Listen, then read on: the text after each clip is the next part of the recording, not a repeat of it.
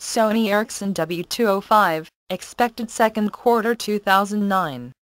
The Sony Ericsson W205 is the 33rd Walkman phone to be announced, but Sony Ericsson hope that it will be many customers' first Walkman phone.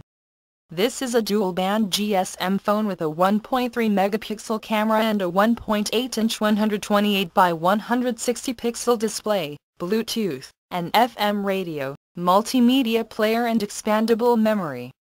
It isn't the most basic Walkman phone ever made, that dubious honor lies with the W200, but it is certainly close.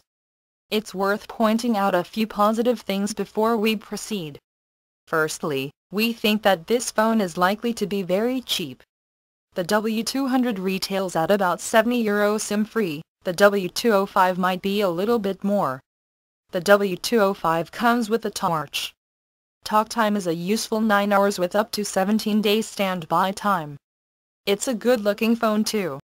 Other than that, there is nothing here to get excited about. We suspect that the W205 will drown in a sea of consumer indifference.